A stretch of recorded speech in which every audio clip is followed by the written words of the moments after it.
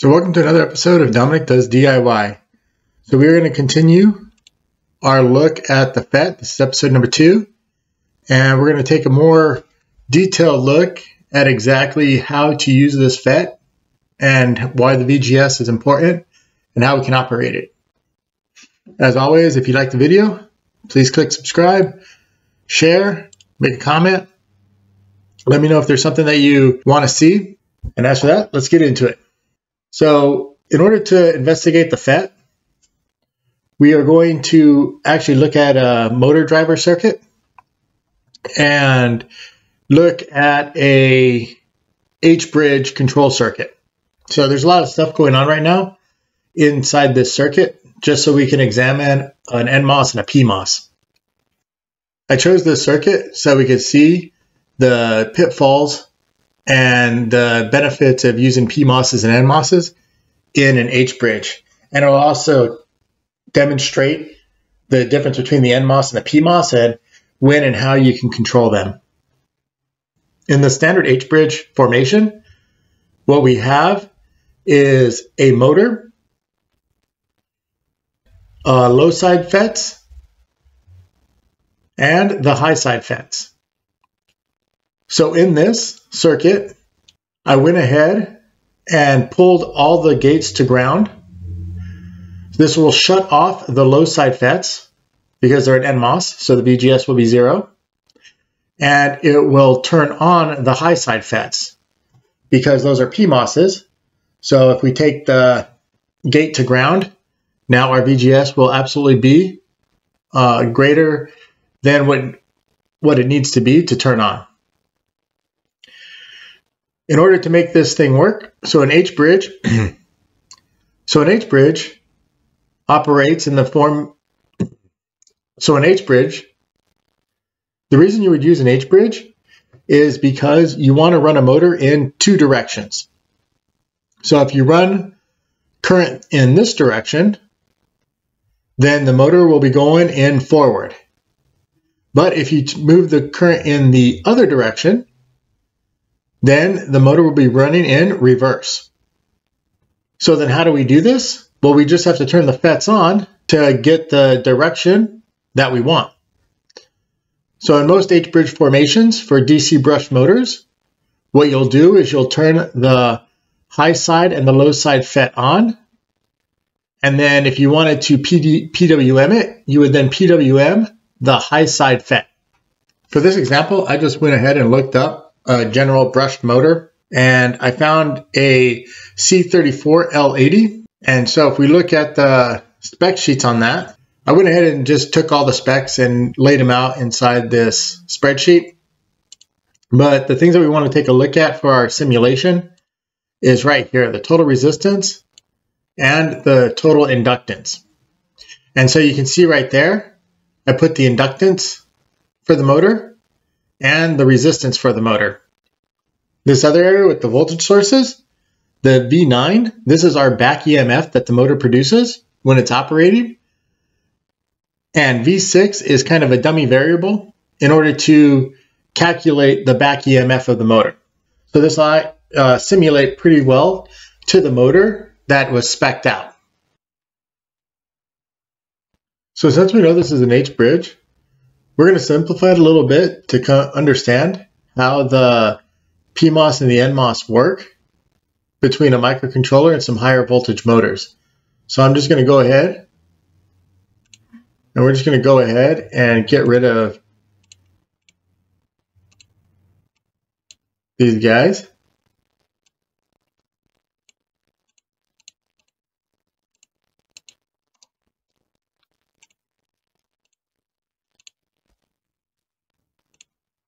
So basically just making it into one leg of the system. So now, so this motor will only go in one direction.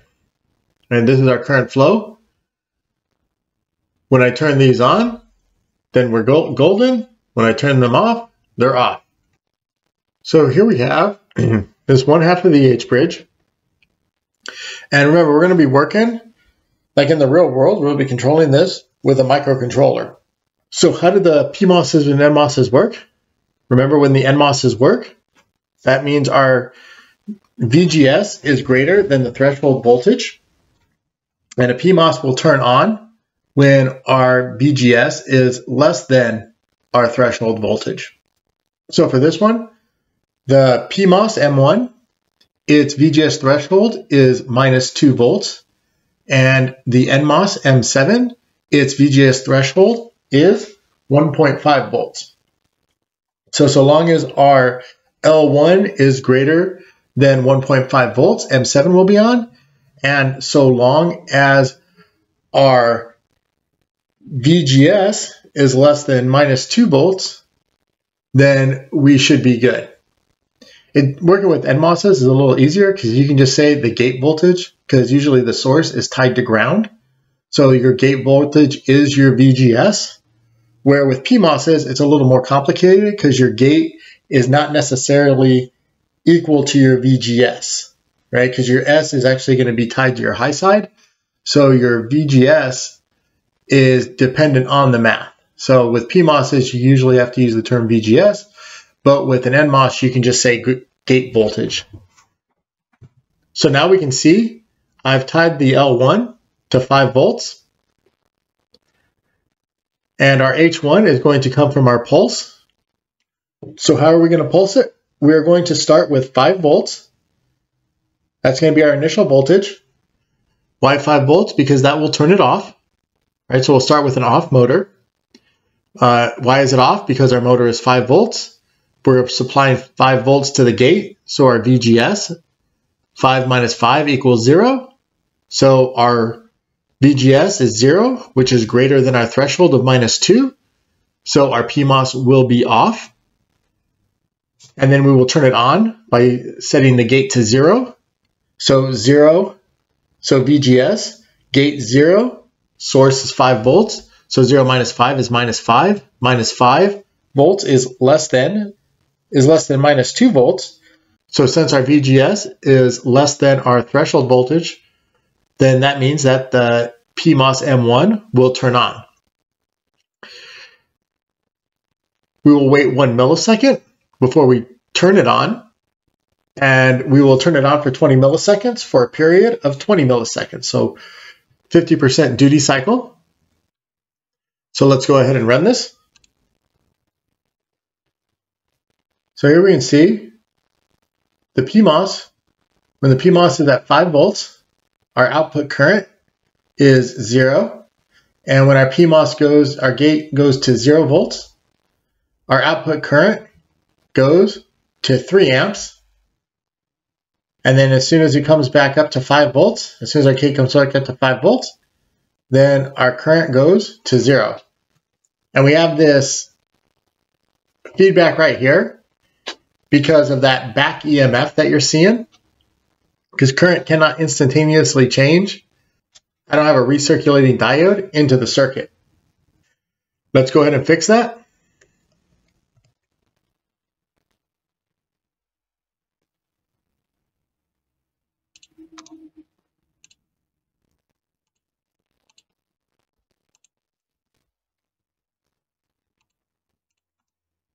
So what's happening is so long as both FETs are on, I can have current flow from the main voltage source through M1, through the, through the motor, out M7, and to ground through the current sense resistor. But as soon as I close, as soon as I turn off M1, L3 still wants to have current flowing through it. It wants to dissipate that energy somehow. And so because it can't, because it doesn't have a complete circuit, and the only way it can get to that circuit is through the body diode of M1. It's trying to process that information. And so you end up with that negative current spike because of it. But as soon as I throw in this recirculating diode, as soon as I turn M1 off, the current will continue to th flow through L3. It'll now become the energy source and it'll go through R19, H3, V12, M7. But now instead of going through the current sense resistor to ground, what it's going to do is it's going to go to D1 to find the ground of the new system. As soon as we shut M1 off, this backside of L3 became the new ground for this system. And so with the what the recirculating diode does is it allows that current to flow back into the inductor so it can dissipate upon itself. Then let's take a look at this. Let's run this and we will see that that negative spike of current disappears. So you can see here that that negative current pulse disappeared. Normally you don't have to worry about this recirculating diode when you have a full H-bridge system because you have the body diode in the MOSFET itself that acts as this recirculating diode. So normally you don't need it in it, but since I removed half of the H-bridge, uh, I needed to reinsert that recirculating diode to remove that spike. So we've seen how the motor operates when we have a 5 volt motor and we're pulsing it from our microcontroller that's run by 5 volts. But now let's see what happens when we actually change our motor voltage, because this motor that I was specking out that I was looking at was actually a 24 volt motor. So let's actually feed it with the proper voltage. And we can see here, now I've got my motor voltage at 24 volts. And we want to know, well, what's the current of this motor? If we just turn it on, so our L1 will just turn on, so the low side FET will be turned on. We'll pull the gate of the high side FET low. So our high side FET will be on 100%. So now we'll be able to just see what is the current that this motor takes if we just turn it on full tilt. So let's go ahead and run that. So here we can see that if we just turn this motor on, this is a 15 amp motor. So now let's see what happens if we try to pulse the motor. So now we should see if we're pulsing at a 50% duty cycle, we can expect somewhere around half this current. So if we're running 15 amps now, we should be somewhere around 6, 7, 8 amps, something like that, during the pulse. So you can see here, we still have our 5 volt input coming from the microcontroller for the MOSFET. So now let's see what happens when we run it. So you can see we still have 15 amps going out. So why do we have 15 amps going out still? It's because our VGS is not able to actually turn this MOSFET off. So you can see when we're in the on position, we have 5 volts here, but our source is, our motor voltage, our source is 24 volts. So 24 minus 5, motor here is 24 volts, and our gate is 5. So 5 minus 24 is minus 19, which is less than the negative minus 2, to turn the MOSFET off. This microcontroller does not have the ability to turn this high side FET off, which means that we will just be on 100% of the time. So we can do this one of two ways. The first way is we just now, instead of pulsing the high side FET, we'll just go ahead and connect our pulse up to the low side FET. And so if we see when we run that, when we pulse the low side FET, we are able to get the current. But again, you can see our negative current pulse, which means we are going to have some negative voltage transients coming back because even though we have our reciprocating diode right there, it no longer is functioning as we expect it to. So if we want to switch the low side FET to get rid of this pulse, we have to move our reciprocating diode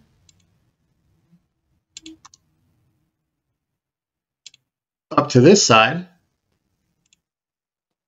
to take the place of the MOSFET that we removed earlier. So now if we run it again, just like when we did it before with the high side FET, we will eliminate this negative current spike because we'll be able to now go through the reciprocating diode on the high side. So just like on the high side, uh, just so just like when we were PWMing the high side, we put the reciprocating diode down there and we eliminated our negative current spike. The same thing, we moved our reciprocating diode up there and it removed it. So let's just go ahead and we will put the two reciprocating diodes down there. So now what's the other option? Well, the other option is we continue to pulse the high side FET.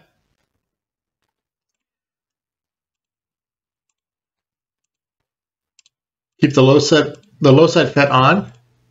We'll go back to pulsing the high side FET. But now the thing is, is we got to get our gate voltage up high enough to actually be able to turn this PMOS off, the high side FET off.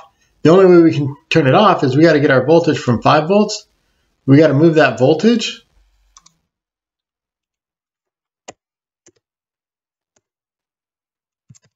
up to like 24 volts.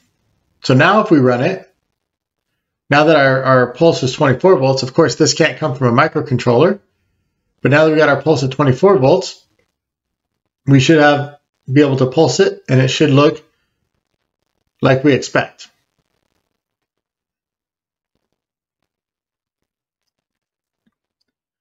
So you can see now that we have our pulse at 24 volts, we're able to legitimately turn on and off that high side FET to be able to pulse the current through it. So then why is it that we want to be able to pulse it? Why are we pulsing this uh, circuit? Well, it's because we want to be able to control the current going through this motor for one reason or another.